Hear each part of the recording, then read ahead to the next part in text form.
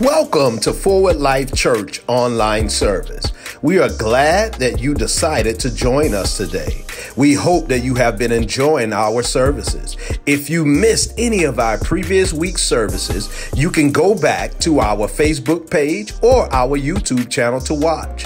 I will leave you with the scripture. John's Gospel, chapter 15, verse 15 says, No longer do I call you servants for a servant does not know what his master is doing. But I have called you friends. For all things that I heard from my Father, I have made known to you. Thanks again for joining us.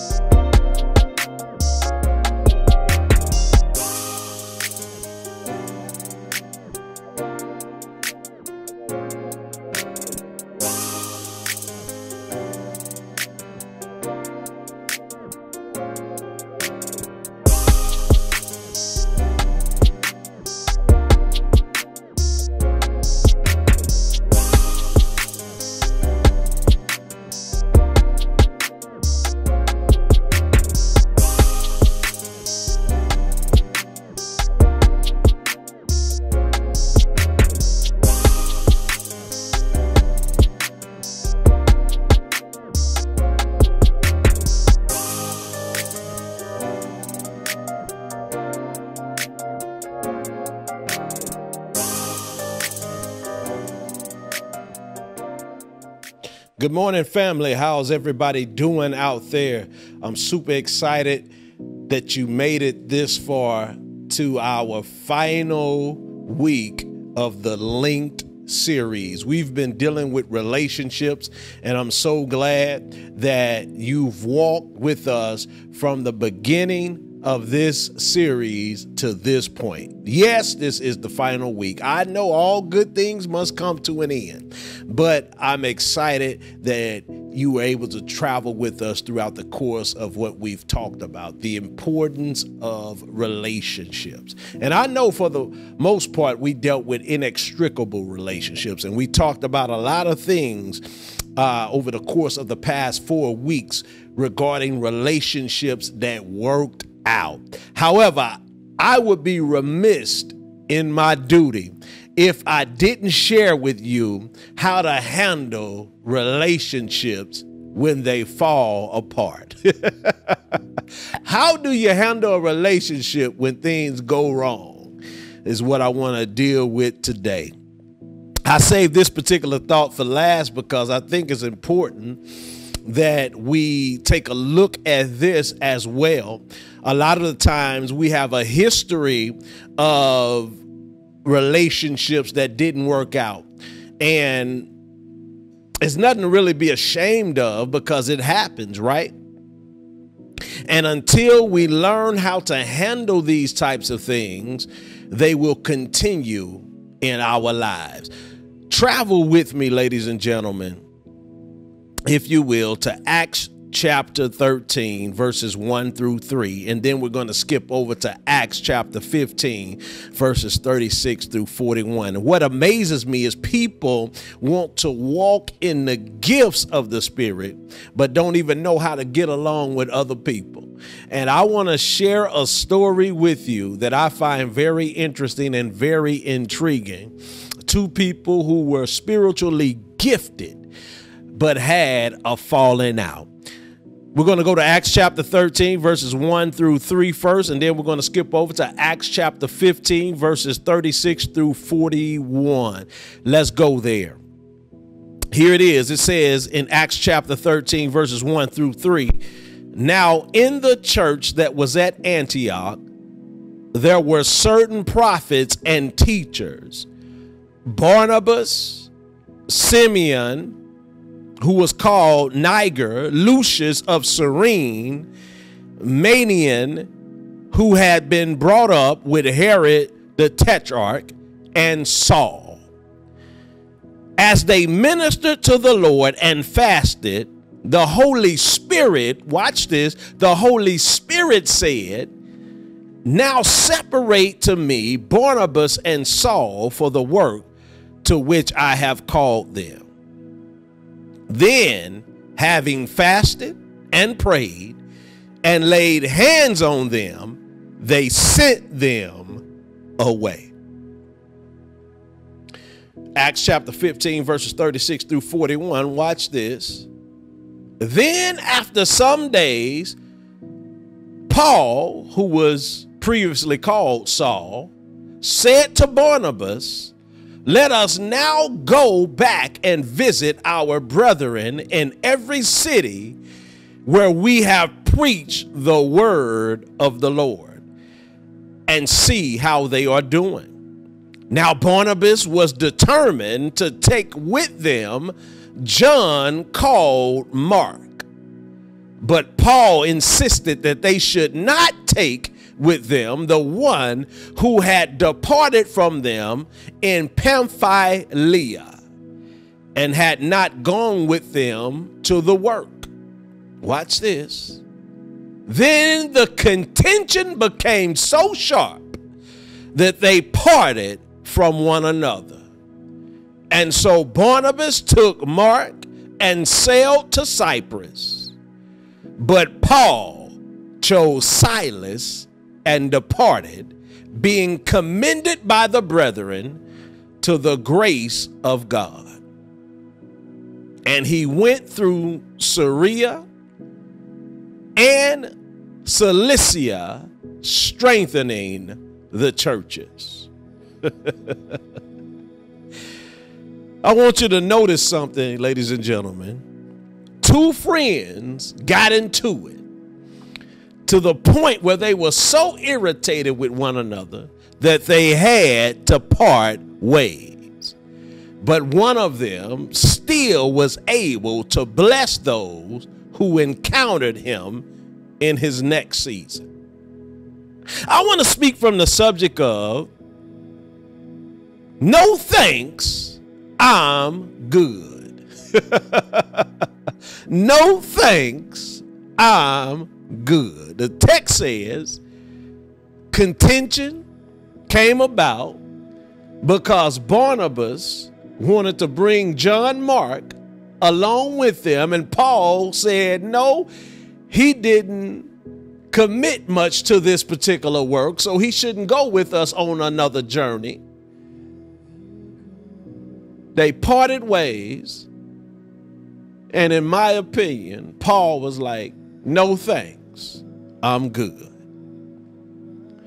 I would like to approach this final installment of our link series with some general observations, if you will allow me to. I think sometimes we over spiritualize scripture to the point where we miss powerful life points. Sometimes when you're just reading scripture and you're really not embodying scripture, you kind of miss some important points. I know a few weeks ago when we were in our uh, discipleship, Wednesday night discipleship, people started laughing when I started acting out the part of a particular scripture. But for me, when I read scripture, I embody the scripture. I feel the scripture. I find myself encased in the scripture, encapsulated and, and captivated with the scriptures to the point where I feel like the person that I'm reading about, or I feel like I was there. And that's how you get a word picture for what's going on in the text. And so sometimes we over spiritualize the text to the point because to the point where we miss the lessons as they unfold. And this particular account between Paul or Saul and Barnabas has some things in it that I believe we can learn from. When you understand the history between Paul and Barnabas, you will know how painful this departure must have been for the both of them. And the reason I say that is, let me first point out that it was Barnabas who was very instrumental in the reassertion of Paul's ministry initially Paul, Saul, or Paul, when he was converted to the Christian faith, very few believed in him. He found himself in a place where the Christians didn't trust him and the Pharisees felt betrayed by him. However, in the midst of the lack of trust and in the midst of the betrayal, there was Barnabas who believed in him. I want you to understand how painful this had to have been for the both of, both of them because while Jews plotted to kill him and Christians wanted to deny him, it was Barnabas who vouched for him. Barnabas was always in Paul's corner. The whole course of their relationship, he was always there for Paul. Matter of fact, even after Paul took a 10 year hiatus from ministry, it was Barnabas who recommissioned him in the ministry. It was Barnabas who convinced him of his gift. It was Barnabas who convinced him that he had something to offer. It was Barnabas who reintroduced him to ministry assignments. It was Barnabas who saw value in him. And can you imagine what it was like to be Paul in this particular situation? The only person who had ever believed in you, the only person who had ever saw value in you, the only person who had ever trusted you to the degree that they were willing to put their name and stake their name behind yours, you now have a confrontation with. What do you do when the only person who believed in you is now at odds with you? What do you do when the only person who saw value in you is now upset with you? What do you do when the only person who trusted you is now angry with you? And the answer I see here is you can either be beholden or emboldened. Did you hear what I said? You can either be beholden or emboldened. In other words, you can either feel as if you owe them and spare their feelings, or you can be bold enough to tell them the truth about themselves. You you can either be, act as if you owe them something, or you can be uh, bold enough and truthful enough to tell them about themselves. And too often we spare people's feelings because we don't want to lose their support. Did you hear what I said? Too often we spare people's feelings because we don't want to lose their support. But if it were me. And what I'm trying to get you to understand is that if you're going to be truthful, you have to learn that if it costs you me your support, I got to tell you the truth. If it costs me your support, I've got to be honest with you. If it costs me your support, at least my conscience is clear that I told you the truth about how I feel. Too often we're afraid to be honest with people because we're afraid that if I tell you the truth about how I feel, you might stop supporting me. If I tell you the truth about how I feel, you might stop walking with me. Oh, I'm, I'm finna free up some preachers right about now. Sometimes preachers don't want to tell people the truth because they're good givers. Sometimes preachers don't want to tell people the truth because they're faithful attendees. Sometimes preachers don't want to tell people the truth because they uh, they always show up and, and they show up on time. But sometimes you just got to be honest with people and tell them the truth about how you feel about a situation even if it costs you their support. And there are two things we can learn from this exchange. Watch this. Although Barnabas was the first person to ride with Paul, Paul wasn't afraid to tell Barnabas how he felt. And for those of us who are Paul in a relationship, I'm talking to Paul. Come here, Paul. I'm talking to you. For those of us who are Paul in a relationship, watch this. Don't let people support of you hold your feelings hostage. Don't let people support of you hold your feelings hostage. Don't let people support of you hold your truth hostage. If there comes a point where you got to be honest with a person, you just got to be honest with a person. If it comes down to the point where you just got to tell somebody the truth, oh my God, you just got to tell somebody the truth. I'd rather tell you the truth than let you live a lie.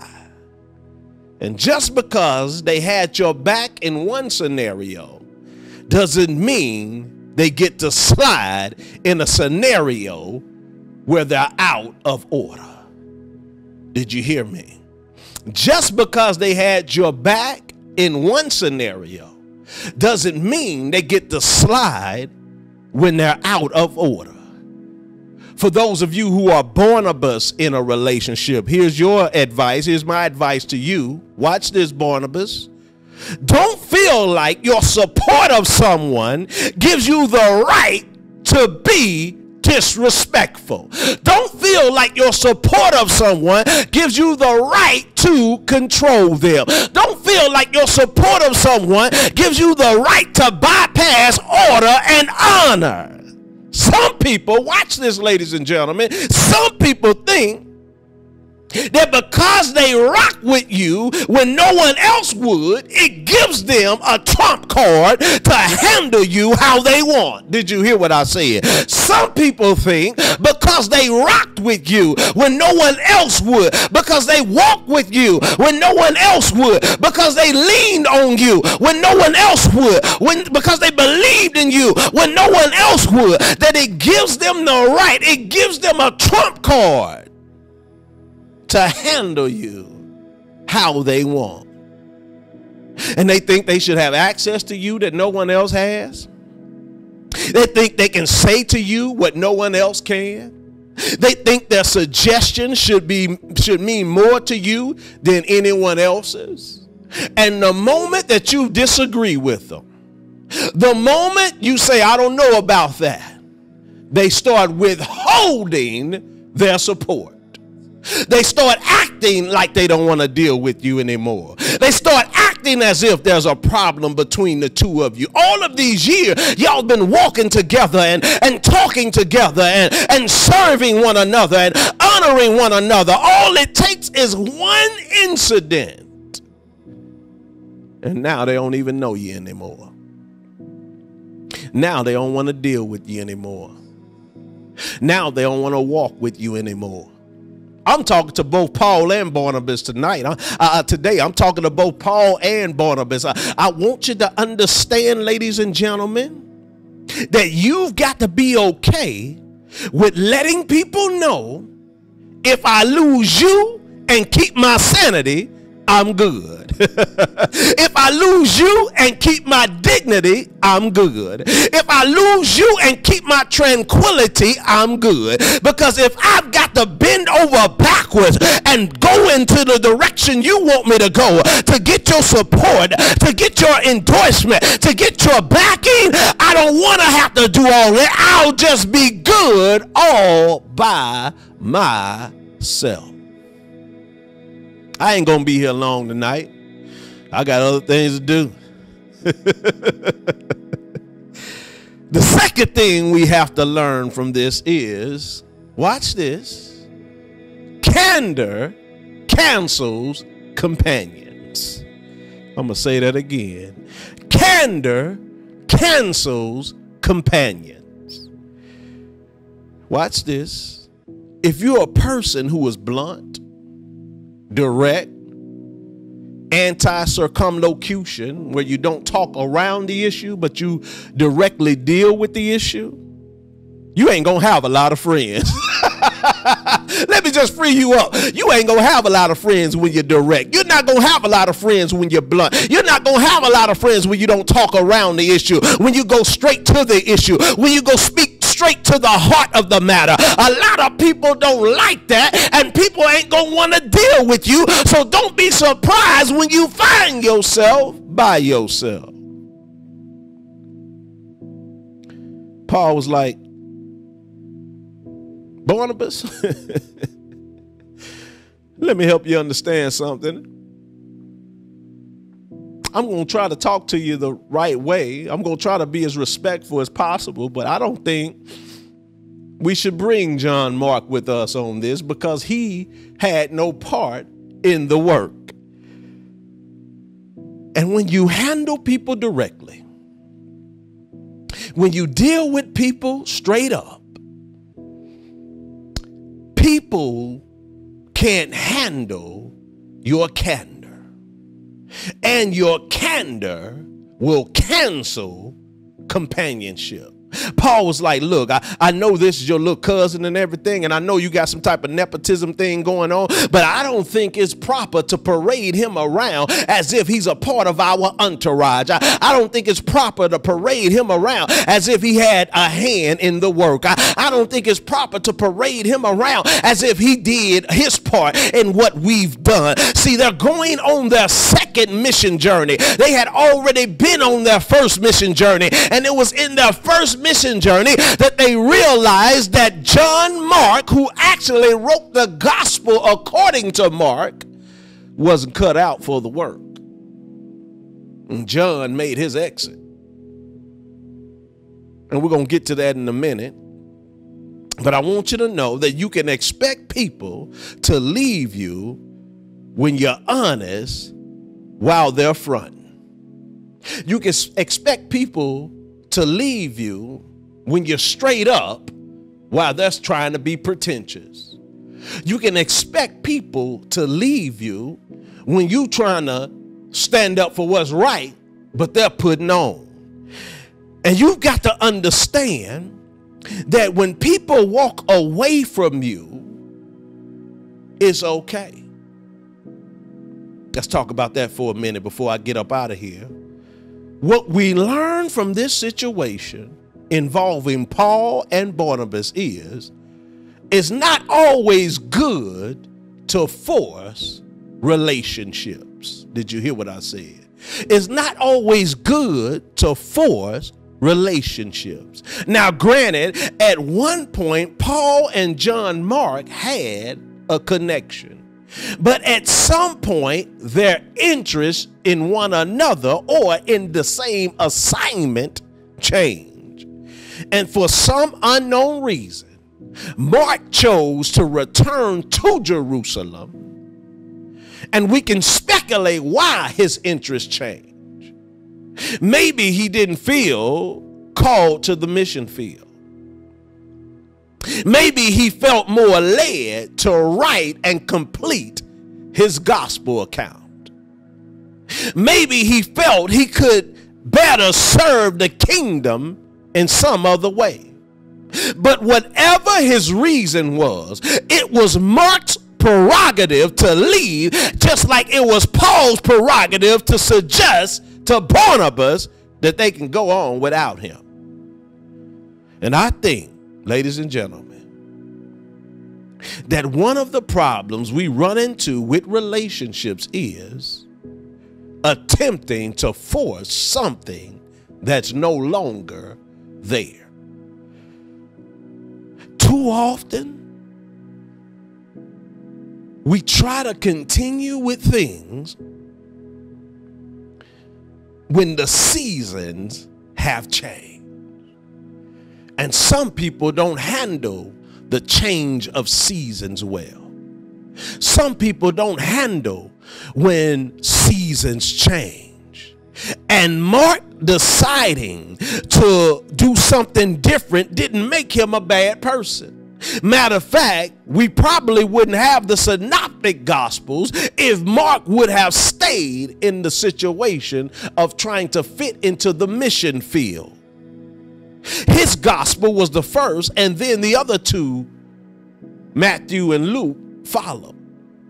However, we get in trouble when we try to force people to stay in situations that no longer fit them.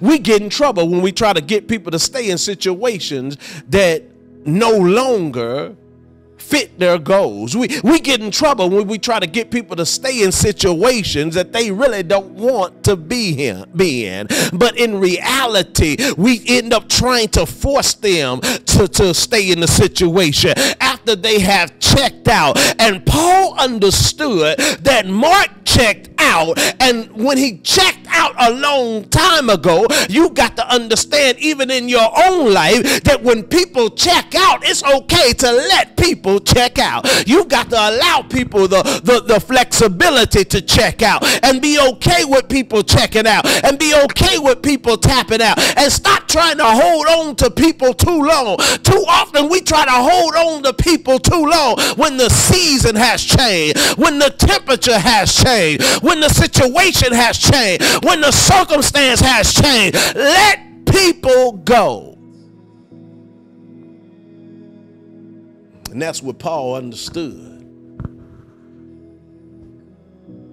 We have to stop trying to convince folk to stay connected when they've checked out. And we can't get mad at people for wanting to check out. I know it's going to hurt initially. I know we're going to be bothered, bothered. I know it's going to be a situation where we feel uncomfortable for a season. But be okay with allowing people the flexibility to check out. I got to go, but here it is. My belief is that Paul felt that Mark was wasn't cut out for the missionary work. You got to understand, watch this, that Mark left their missionary journey and it was their first missionary journey. And when he left, watch this, the worst stuff hadn't even happened yet. We don't know why Mark left. We we don't know maybe he's just felt to do something different and decided to do something different, but but they hadn't even encountered the worst of it yet when he left. He hadn't seen half of the stuff Paul and Barnabas went through when he left. And by the time they decided to go on a second mission, watch this Paul had survived being stoned at Lystra. Paul had survived being chased out of Antioch. Paul had survived being persecuted at Iconium.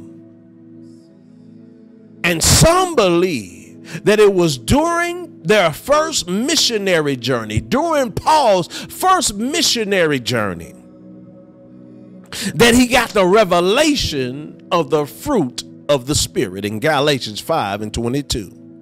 Because the qualities of love, the qualities of joy, the qualities of patience, the qualities of kindness, the qualities of goodness, the qualities of faithfulness, the qualities of gentleness, and the qualities of self control can only come to the surface under adversity.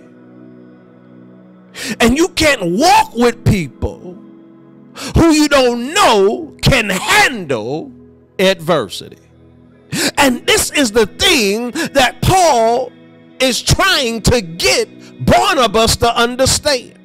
That we don't know if John Mark can handle the adversity because when the adversity came, he was nowhere to be found. He left even under the most simple time.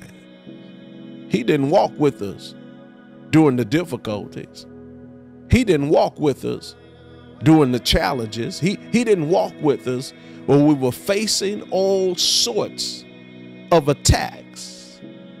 We don't know if he could handle that. He he he left when things were easy. Can you imagine what would happen if things got bad? And I'm here to tell you, ladies and gentlemen, that you can't allow folk to rock with you in the good time when, uh, when they've been untested and unwilling to walk with you in the bad time. I heard somebody say the other day, you can't have a seat at the table unless you set the table. Either set the table or handle kitchen duty. And too often, we want people to walk with us who are untested and unproven in the areas that we need strength in. We, we in the areas that we need to know whether or not they're able to handle. I got to go, but here it is. Notice that the text says Barnabas took Mark, but watch this Paul chose Silas. Barnabas took Mark, but Paul chose Silas. And what this means, ladies and gentlemen, is that Barnabas had it made up in his mind what he was going to do. He had his mind set on who he was going to take. However, Paul was strategic about his next move. You see, the reason why some of us have a history of bad relationships is we don't rebound well. Did you hear what I said? We don't always rebound well. We, we take whoever comes and makes themselves available to us. But Paul chose Silas, meaning Paul took his time. There were other people available he could have taken with him, but he chose Silas. And here's what I have to give you, and I got to go. What I really find interesting about the dynamic between Paul and Barnabas's breakup is the Holy Spirit called them together. Did y'all catch the text? The text says that the Holy Spirit said, Give me Paul and Barnabas for the work I have chosen them to do. It didn't say a bishop called them. It didn't say an apostle called them. It didn't say a prophet called them. It says that they were had hands laid on them and prayed and fasted for them and released them. But it was the Holy Ghost who put them together.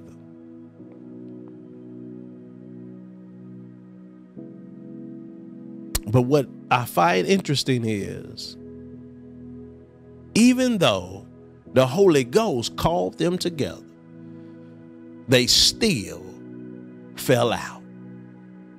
What's the lesson can we learn in that? Here's the lesson that if the Holy Spirit can't make people stay together, what makes you think you can? we never hear from Barnabas again. We know that Barnabas must have been bitter because of the breakup, because we never hear from him again. But what I like about Paul is he didn't allow his breakup to taint the next group of people that came in his life. The text says, being commended by the brethren to the grace of God, meaning that they admired Paul for how he handled the breakup, whereas Barnabas didn't stick around long enough for them to even admire him for anything. Paul went through Syria and Cilicia, strengthening the churches. Here's what I want you to get before I go. You've got to understand that there's going to be challenges, there's going to be difficulty in your relationship. And you've got to stop trying to keep people in your life who no longer want to be there. And if the Holy Ghost could make Paul and Barnabas stay together, what makes you think you could make somebody stay with you? What makes you think you could make somebody be your friend? What makes you think you can make somebody want to walk with you and live with you and, and, and do life with you?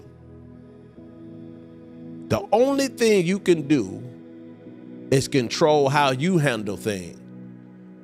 And Paul made sure that he didn't allow the bitterness of a breakup to cause him to lose his strength to pour into other people. And from his new relationship with Silas came sons like Timothy and Titus and all of these other people. Oh, oh, and yes, uh, Mark came back into his life as he got older. He wasn't upset with Mark.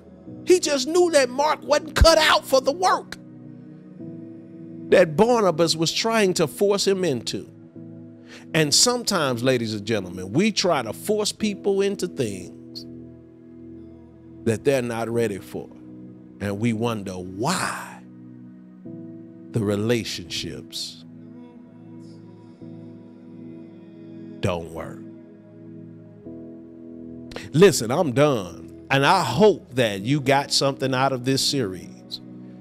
I hope that you learned the importance of being a good friend. I hope that you learned the importance of looking for a good friend and what to search for in a friend. And I hope that you learn how to handle a breakup. Don't let the bitterness of the breakup cause you to be bitter to where you poison what's next. Let them know, no thanks. I'm good. Ladies and gentlemen, I'm excited for us to be moving forward. We're going to start a new series on Easter Sunday. I hope you stick around for the next few weeks. We're going to have some guest speakers come and present the Word of God. I'm taking me a little time off and relaxing a little bit. No forward rewind.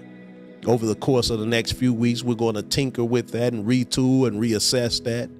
And also, no Wednesday nights as well, which is a private um, discipleship Bible study. But we definitely want you to continue to give to the above and beyond offering. Let's pray. Father, I thank you for this time. I thank you for this opportunity. I thank you for this new door. I thank you, Lord God, for this change and this transformation. And I ask you, Father, to strengthen. I ask you to live. And I ask you, Father, to carry people on in their relationships.